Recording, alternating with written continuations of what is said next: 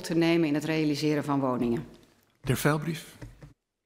Voorzitter, dus als de minister niet had ingegrepen, begrijp ik dat het programma STOR geheten had. Dat is inderdaad iets minder aansprekend. Uh, maar uh, even naar die regels toe en hoe dan? Uh, wat de minister zegt, eh, dat klopt inderdaad. Wij, wij zijn er ook voor om daar flink in te kappen. En een programma lijkt mij prima. Maar er was ook wel een deel van het debat wat ging over... als je nou echt ingrijpend dingen wil vereenvoudigen... ik dacht mevrouw Welzijn daar ook over begon... dan moet je misschien met een wet komen, een, een crisiswet... of misschien iets aanpassen in die wetregie... Misschien gaat de minister daar straks nog over spreken hoor. Ik zie haar bladeren in de, in de papieren, dus misschien komt ze daar straks op terug. Maar ik was even benieuwd naar de manier waarop we dit nou gaan doen. En ik had ook een hele specifieke vraag gesteld. En dat was, ging over de file die bij de Raad van State ontstaat. Kunnen we daar nog wat aan doen? Dus dat waren mijn vragen. Uh, ja, voorzitter. Het is de vraag of wij een hele nieuwe wet nodig hebben, voorzitter. In de omgevingswet um, en in de wet regie die bij u in, uw, wetsvoorstel regie op volkshuisvesting die bij u in de Kamer zit, zitten al verschillende mogelijkheden om dat uh, te gaan doen. Het Rijk kan bijvoorbeeld projecten aanwijzen van nationaal belang. En om die te realiseren heeft het Rijk instrumenten om het planologisch regime op een locatie te laten aanpassingen en omgevingsvergunningen uh, te verlenen. Er zijn instructieregels, kun je opleggen aan uh, mede-overheid. Uh, om, dat, het, om dat ook dat doel te bereiken. Projectbesluit, voorzitter, um, is een van de mogelijkheden. Dus er zitten allerlei mogelijkheden in.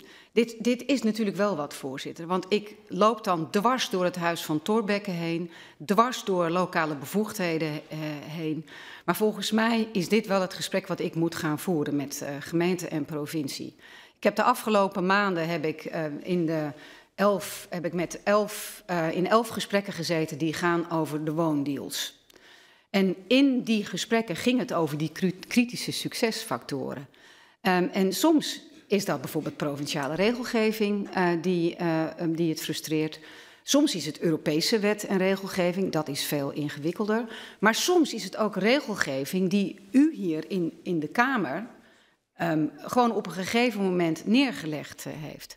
En in het systeem dat wij met elkaar hebben, kan ik daar niet zomaar doorheen. Omdat elke minister zijn eigen bevoegdheid heeft. Dat wil niet zeggen dat ik dit gesprek ook niet voer met de collega's in het uh, kabinet. Dat heeft u ook aangetroffen in het regeerprogramma waar dat uh, in staat. Maar voorzitter, wat ik ook al tijdens het debat, het commissiedebat uh, over de noodruimte gezegd heb, herhaal ik hier graag. Ik heb u daarvoor nodig. Ik ben coördinerend minister om um, de noodruimte uh, de wereld te laten zien. Um, een van de onderdelen van is, is woningbouw. Maar ik heb u allemaal nodig als coördinerend Kamerlid in uw, uh, in uw fracties. Om elke keer als er een nieuw iets bedacht wordt te zeggen... ho, ho, wacht eens even. Uh, wat is het effect hiervan op de doelstelling nummer één... die we met elkaar hebben, het bouwen van huizen? Ik vertel nog even dat ik weer acht interrupties per fractie per termijn doe... en de interrupties niet langer dan 45 seconden. De heer Veilbrief. Uh, nee, die, die hulp uh, zult u krijgen, maar ik, ik bood eigenlijk nog andere hulp aan. Kunnen we u ook nog helpen om die, hè, want u heeft dat programma Stoer, maar toch even, ik denk zelf dat er iets meer nodig is dan een programma. U zegt ook zelf terecht, ik heb daar coördinerende bevoegdheid, ik moet soms ook ministers aansporen. Kunnen we u helpen met moties, met gedachten hoe we het beste dit programma nou zo krachtig mogelijk kunnen maken dat er ook echt iets gebeurt. Ik zit nog even te wachten op die antwoord op die vraag rond uh, de Raad van State en de, en de file daar. Ja, voorzitter, u kunt mij daar uh, zeker mee uh, helpen. Um, dus dat is ja. Twee, ook in uw fracties daar het gesprek over voeren. Er is in de commissie die gaat over um, duurzame energie bijvoorbeeld op een gegeven moment bedacht en die motie is ook aangenomen om um, regels te stellen voor afstandsnormen te stellen voor windturbines. Nou zit in de wet en regelgeving zit al opgenomen hinder- en veiligheidscontouren. Deze komt erbij. Um, de, de gedachte daarachter begrijp ik trouwens compleet. Uh, omdat namelijk, uh, nou ja, ook recent uh, uitspraken geweest zijn van rechters van, ja, wacht eens even, is er wel heel goed nagedacht over het effect van windturbines op omwonenden. Maar de vraag die daar vervolgens achterweg komt, oké, wat betekent dat dan voor bestaande woonwijken? Moet je die niet eigenlijk uitzonderen? Ja, eigenlijk wel. Maar dan zeg ik vervolgens, ja, wacht even, maar wat betekent voor nieuwe woonwijken? Dus um, uiteraard, het kabinet is die motie nu uh, tegen het licht aan het houden en te kijken hoe we die uitvoeren.